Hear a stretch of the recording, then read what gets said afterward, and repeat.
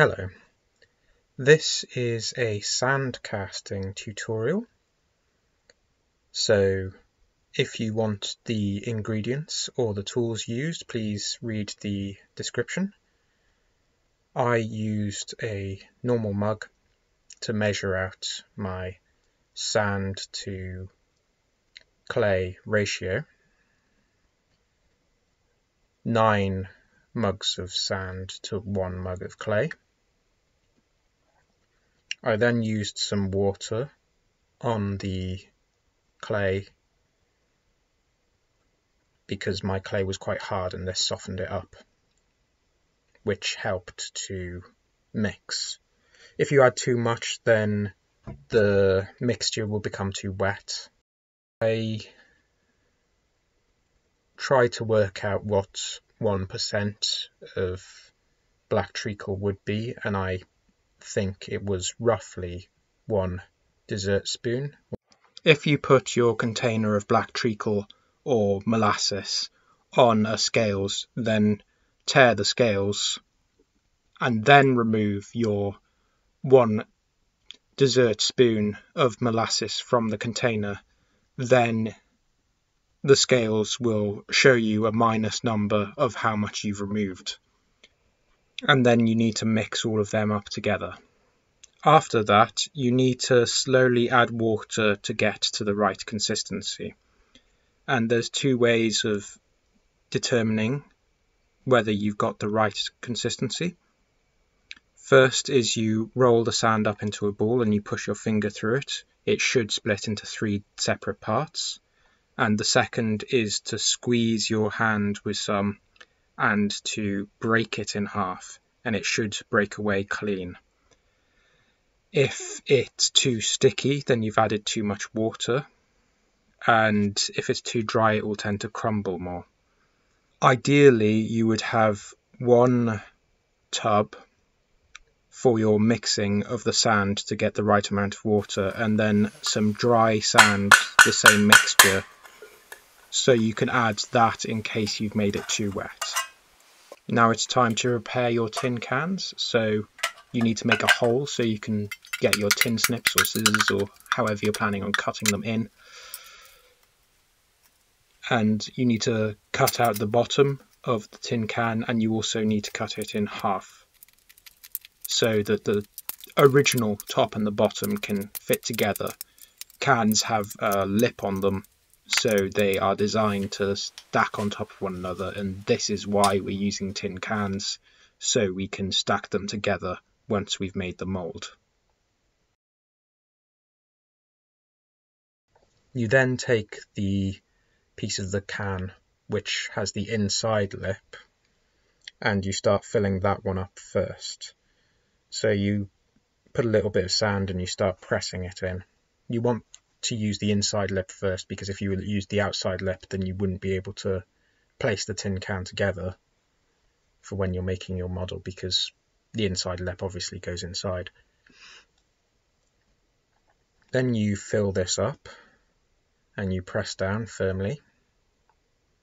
You need to fill it up on a flat surface so that you get a nice flat finish on the top and then you can put a little bit more sand around the edges because the lip stops the sand from going into those sections when you're filling it up. And then you can carve out a little hole um, depending on how big the model that you plan on pressing into it is will depend on how much sand you want to remove. And then you take your model and you put some releasing powder, so talcum powder, on it. And you can brush this on and you can flick the brush with some talcum powder on to make a nice even surface around the entire thing. And after you've pressed your piece into the sand, you then want to put some talcum powder on the sand that's visible around your model and you want to press your model in quite hard so that it hopefully will take the imprint of the sand. You'll want to put talcum powder on both sides of the model. So here's me putting it on both sides. I just measured to make sure that they still fit together once you've pushed all the sand in and also to ensure that your lines mark meet up. So you need to put some lines on your tin cans to ensure that when you take them apart and put them back together, you'll get the same orientation of both sides. So here I am adding the talcum powder again.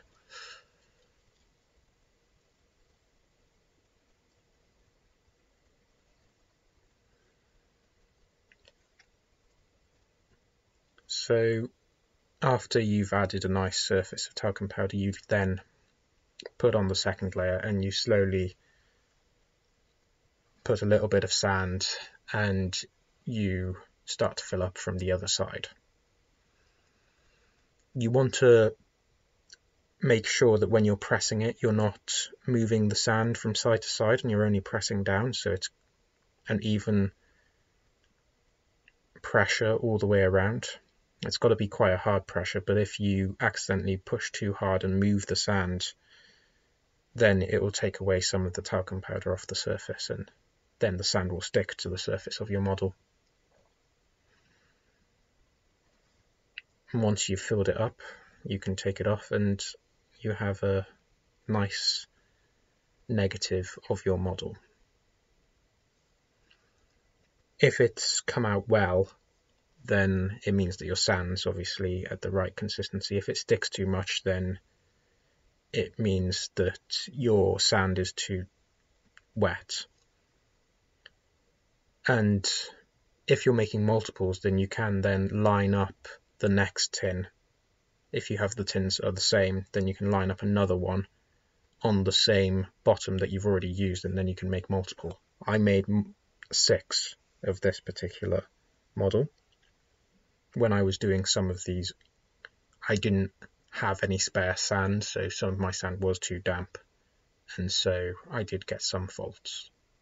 This is me making sure that I've added a new line to this top section so that I'll be able to line up the, the cans again.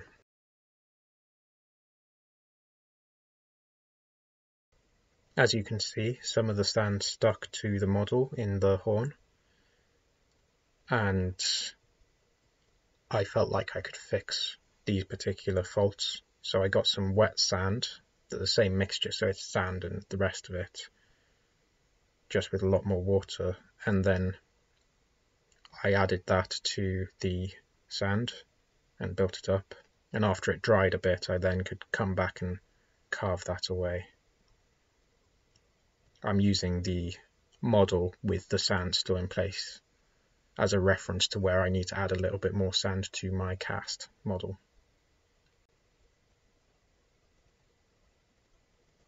You can add it with a any tool. Sometimes small brushes are quite good, but I'm using a clay modeling tool.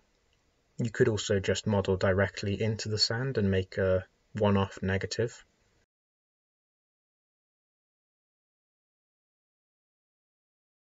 And then to remove the model, you can just slightly pull it up in different edges so that it's loose from the sand. You can then uh, lightly hold it and turn it over and the model should just fall off. Or you can lift it up. So this particular bit of sand was a bit too wet and sticky, so it's quite a bit of the sand stuck to the model on the head, and I fixed that. And when you're doing the other side, if you're doing multiples, then you can replace the model back in the good side and then put the tin can back on and redo the process. So you can just do a load of one side and a load of another and then you have the set that you need.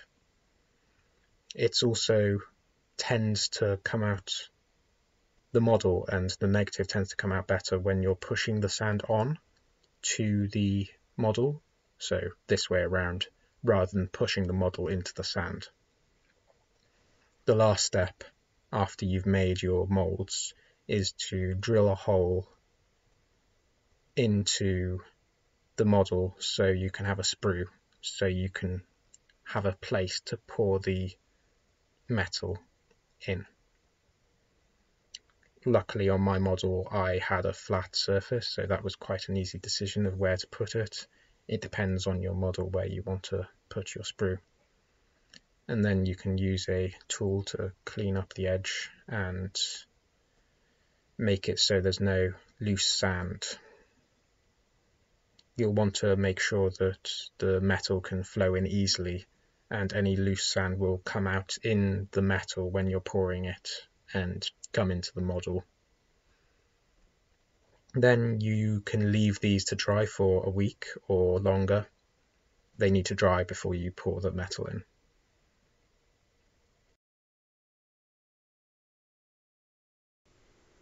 Here's my setup. So I have a gas forge which I'm melting down some scrap brass into and here are my things.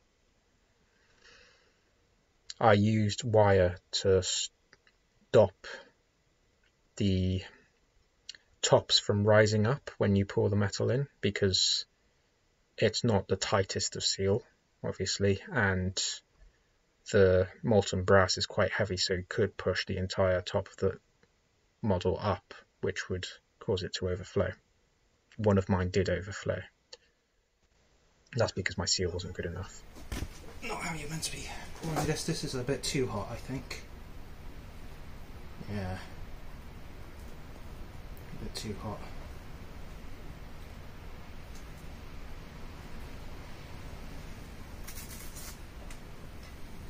Oh, not necessarily enough for that last one, but made it just about. Okay. And that's the equipment I have for casting. So I cast them, and they do sometimes have a little bit of fire around it, but that's natural. You should put sand around the area to stop any metal which comes out getting in contact with concrete because that could cause it to expand and break off and explode a little bit. And here are the six that I managed to make. That one's one that overflowed. The middle one isn't very good, it's quite rough, but the rest of them are alright. So I left them to cool for a while, and then I took my modelling tool to try and remove them from the sand. The sand is quite hard at this stage, it being dry it becomes harder and especially after you've poured the metal in it's quite hot so it sort of solidifies the sand a bit more. It is easier to get the sand off once you've got the tin can off. You could just cut the tin can. It's up to you, isn't it?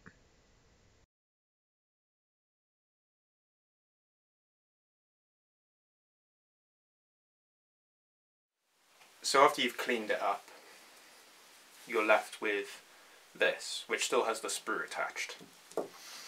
And then you can cut that off with an angle grinder or a hacksaw or anything really. And then you can grind that back and patina it. And there you go. Your finished piece.